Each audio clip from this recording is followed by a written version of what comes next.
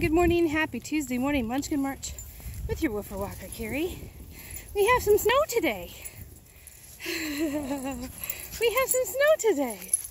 We've got some wily woofers. We have Gus and Georgie and Bailey over there. And Quincy. Hi, Quincy. Nobody's after you. They're having fun.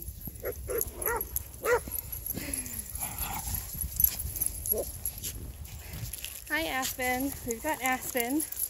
So Bailey and Georgie, Ryan, Quincy, Aspen, and Gus. Good morning, good morning, everyone. Hope you're having a good Tuesday. Clean this off a little bit. There we go. That's a little bit better.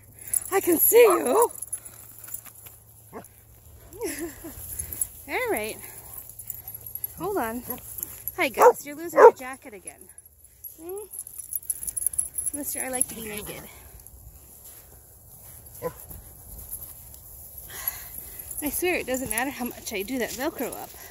It's always coming off. My goodness, can I fix that for you, honey? Can I fix that for you? I'm gonna get hog-tied here. All right, put my phone away so I can fix this jacket. All right.